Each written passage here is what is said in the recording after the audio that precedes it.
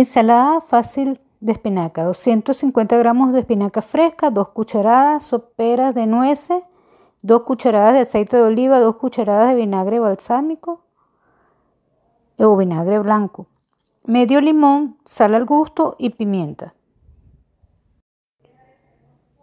Elaboración. Primero hay que cortar y lavar las espinacas para estar seguro de que quedaron bien limpias.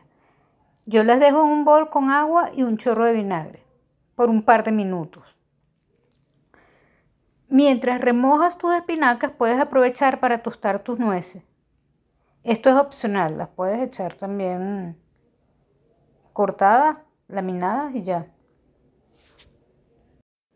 Escurre las espinacas con un colador para luego disponerlas en un bol. Deja caer encima de las espinacas el jugo de limón. Si ese día no tienes limón, puedes colocar vinagre. Prepara el aliño en una taza mezclando el aceite, el vinagre, el sal y la pimienta.